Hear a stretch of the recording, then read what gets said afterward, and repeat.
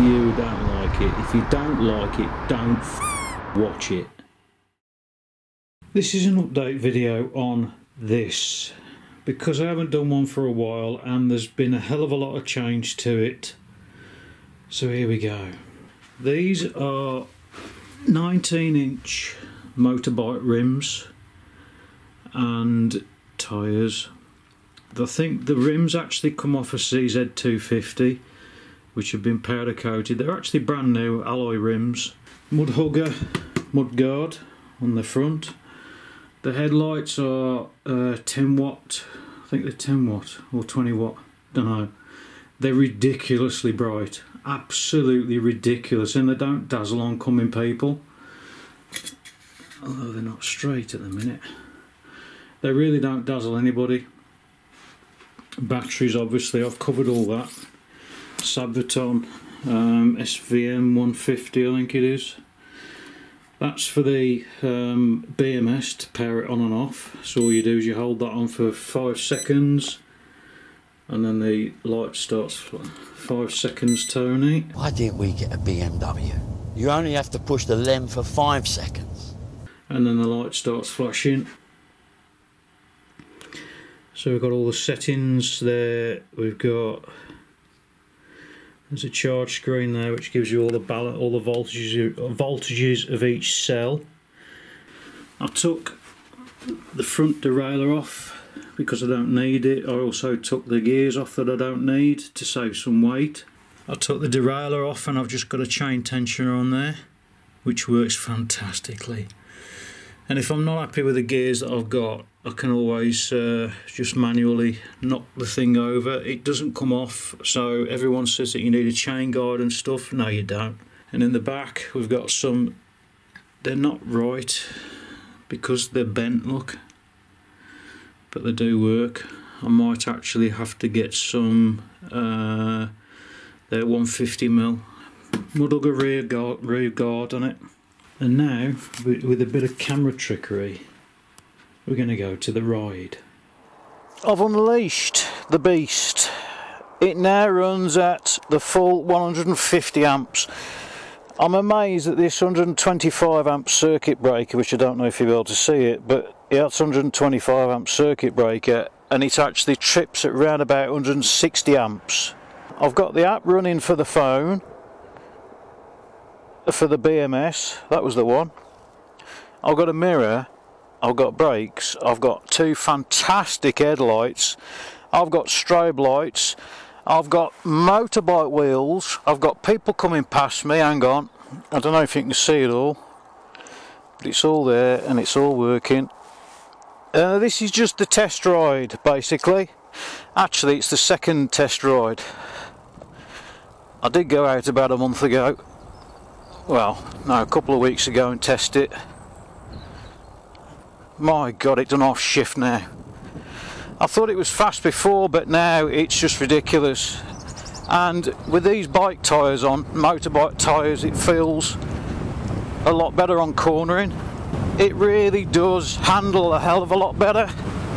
And it seems quite a lot smoother actually that's probably because I've only put uh, 15 psi in it but it's not very uh, it's not very warm today oh, it's about 10 degrees. And hopefully by the middle of this week it'll be in the 20s, which is about 3,000 degrees Fahrenheit. Whoa! I know this wide angle doesn't do it justice, but the acceleration is absolutely fantastically mind-blowing now. 150 amps through the bloody wheel. Oh, that's ridiculous. I know it doesn't show it, but well, I really don't know what speed that was.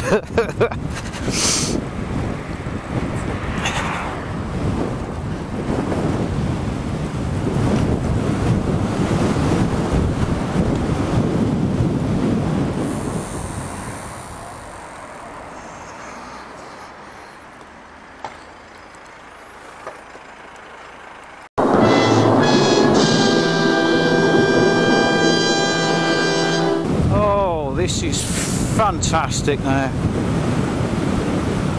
I was asked a question a while back. Does it make it twitchy with motorbike wheels and tyres and everything else on it? Uh, no, it doesn't. Not at all. Quite the opposite. It's now got a sort of a, a stand-upish sort of a feel to it. You know, on a normal mo- on a normal push bike that you have to you steer. Well, on motorbikes, you don't so much steer. You move your body weight around to turn it. Like with this one now, I can just shift my body weight and it'll go around a bend.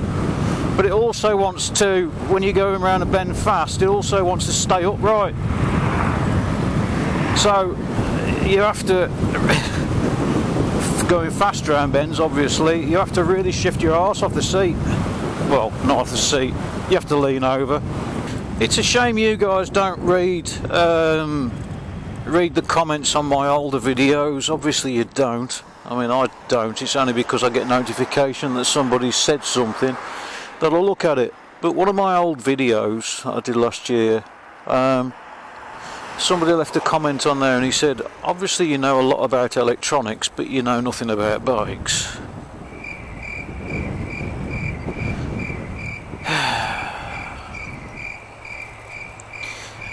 Unbelievable. And I also had another one. Um, because I've got a sticker on this that says Bosch 36 volts 250 watts and we all know what that's for somebody said I'm a troll well ladies and gentlemen this is the M6 car park this is the road that I have to travel every single morning on my way to work and I set out at half past four in the morning to get to work for six o'clock. If I go any later, I get stuck in traffic.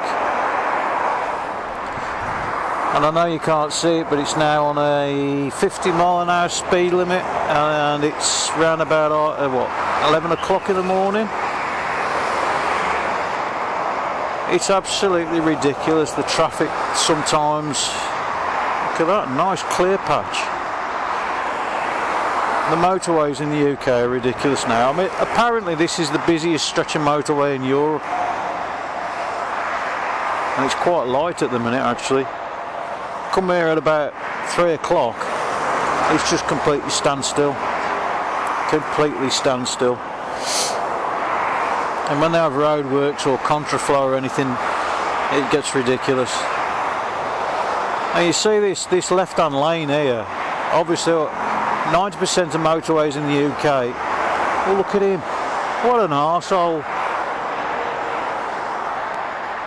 Unbelievable. 90% of the UK motorways are all three lanes. This was a couple of years ago. It was about five years ago. Yeah, about a couple of years. A couple or five years ago it was converted into a four lane motorway because of all the congestion and they put monitored um, it's a smart motorway now where they've put these speed restrictions variable speed restrictions that they can put on anybody coming to the UK for a holiday or, or, or just wants to see a few things don't travel on the motorway for God's sake you won't get anywhere Anyway, I'm going again. I'm doing 15 and a half miles an hour now, as you can see by the speed that I'm going.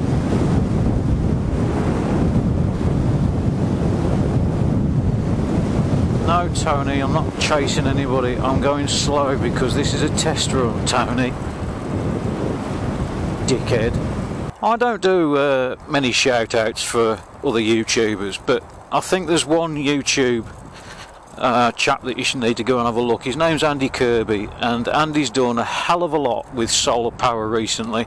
The reason, uh, the way I found it, I was I was uh, researching e-bikes, and I came across his insane bloody build that he's done, which is made out of one of those enduro frames.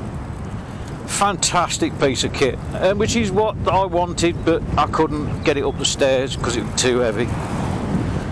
So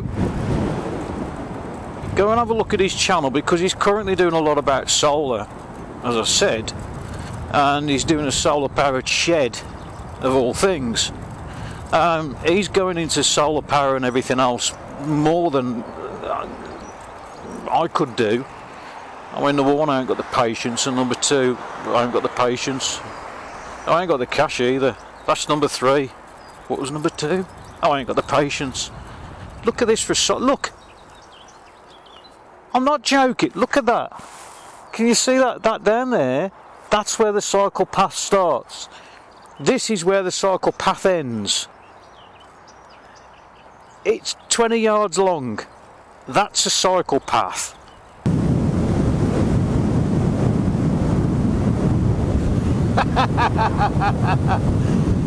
oh, love it.